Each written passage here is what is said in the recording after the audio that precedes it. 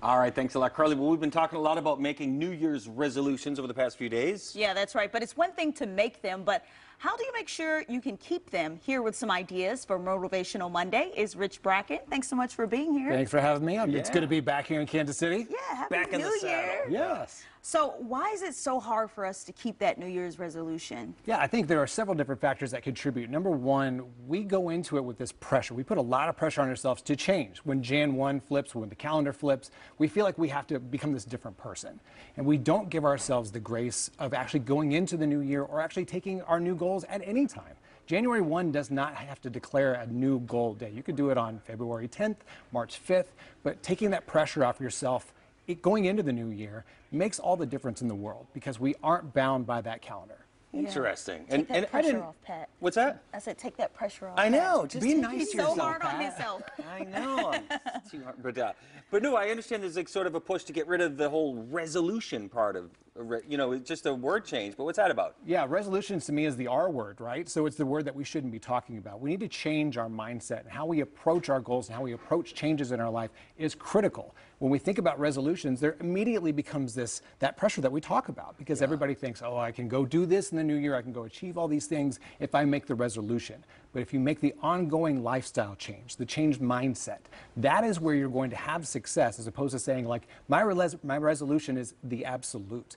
Changing that mindset, changing your lifestyle, changing the education you put behind your change is critical. And there are four different ways that you can change that with different mindset shifts. Hmm. Yeah, you want to talk about some of those changes to make sure that we reach our goals because a lot of people put deadlines on themselves and that makes it even harder. Sure. And deadlines aren't the worst thing in the world if they're set fairly. You want to set the right time. You want to make sure that you're giving yourself plenty of time. But approaching your goals differently is the number one thing you need to do. Number one, have fun with your goals. If you're trying to lose weight, if you're trying to make more money, find fun ways to do it. And don't necessarily go into it just because you have to, but because you want to.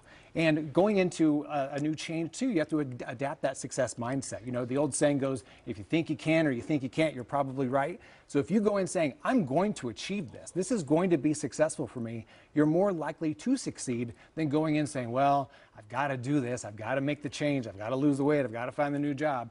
You're going to be more successful when you have that successful mindset. The third one is all about expecting adversity. I have never once, and I challenge anyone, I would love to hear any success story that has never had a roadblock, an obstacle, or in, uh, some kind of adversity within it. And then the last one, and the most important one stop trying to please everyone else with your change.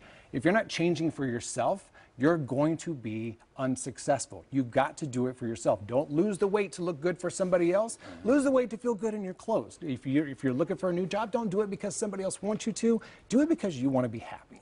Those mindset shifts make all the difference in the world. And, and what do you think, Rich? I'm just curious, uh, just off the top of my head, talking about this. Um, you know, sharing your goals with friends and coworkers to like sort of, you know, like if I don't tell anyone I'm trying to lose weight, then it won't matter if I don't do it because nobody knew. You know what I mean? You think, Right. but if I tell everybody, then I have to do it. Right. It's like ghosting at a party, right? If nobody knows that I'm gone, then it doesn't matter. Right. Now, I think it's critical that you, you bring in people into, your goals and, and have that accountability because that actually increases the success even more.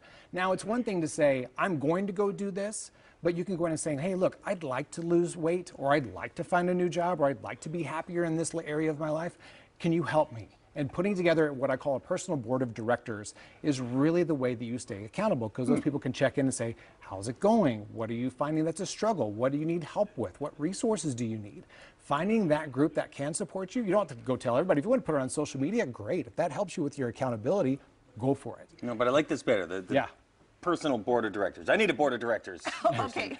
I, got it. sign me up. I'll You be guys are in board of directors. consideration. yes. All right. These are all great tips. Where can people find you for some more tips? Sure, they can find all kinds of content on richbracken.com. Also follow me on social media, richbracken1 on Instagram.